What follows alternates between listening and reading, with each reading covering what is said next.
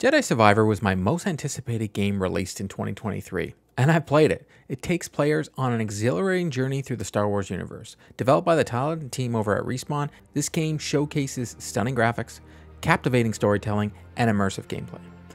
In this review, we will explore the highlights and key aspects of Jedi Survivor, making it clear why this game is a must play for both Star Wars enthusiasts and gamers alike.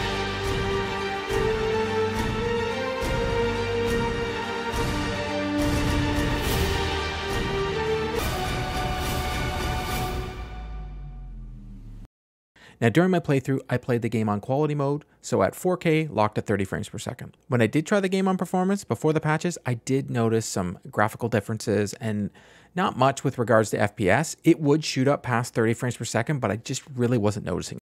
From the moment you start Jedi Survivor, you're transported to a galaxy far, far away. The game's visuals are nothing but short of breathtaking, but I will say the draw distance isn't the best and wish I was better.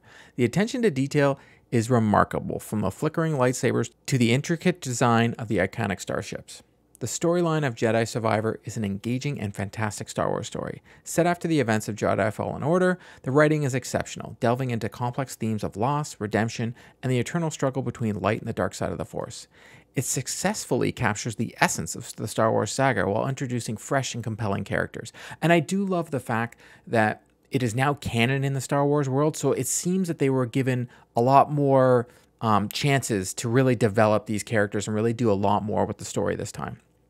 Gameplay in Jedi Survivor strikes the perfect balance between intense action and thoughtful exploration. As a Jedi Padawan, you'll have access to a wide array of force powers, lightsaber combat techniques. The combat system is intuitive and satisfying, allowing for a fluid and dynamic lightsaber duels against formidable foes.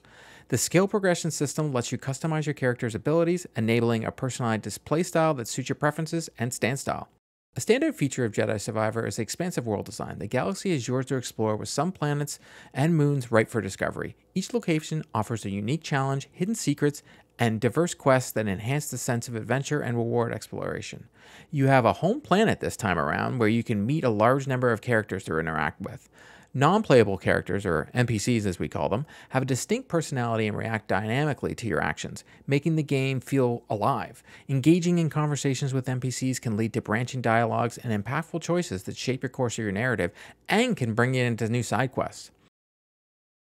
The audio design in Jedi Survivor deserves high praise.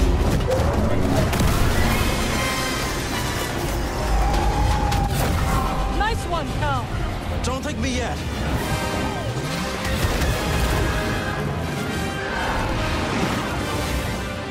Iconic Star Wars soundtrack that you'll hear throughout the game accompanies you throughout your journey, adding to the depth and emotion of the key moments. The sound effects are equally impressive, from the hum of the lightsaber to the roar of the starship engine. The attention to audio detail further enhances the immersion, making you feel like you're truly part of the Star Wars universe. While Jedi Survivor is a remarkable gaming experience, it does have a few minor flaws. The occasional technical glitches and bugs can distract you from the gameplay immersion.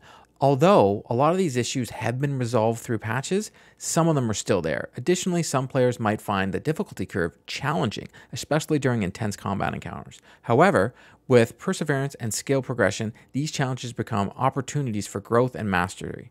You can always just put the game on story mode, and the combat becomes rather easy. For us busy parents, sometimes this is a must. Don't feel bad if you want to play the game on easy instead of just getting beat up by the game. Like all games here at Three Dads, we'd like to let you know if you can play this game in front of your kids. The subject matter is Star Wars, and some finishing moves are pretty graphic, but I would say this game isn't bad with regards to, you know, mature subject matter. I let my daughter run around the home planet, and she enjoyed herself just using the lightsaber and traversal. I didn't really let her play anything else. My daughter's only six going on seven, so I really didn't think this was the game that I should be like, hey, you want to play a Star Wars game? This is the best Star Wars story I've ever played in a video game, and I highly recommend it to everybody, whether you're a Star Wars fan or not. It's currently my game of the year, but there's a lot of time left in this year, so something might change my mind, but right now, this game is tops for me.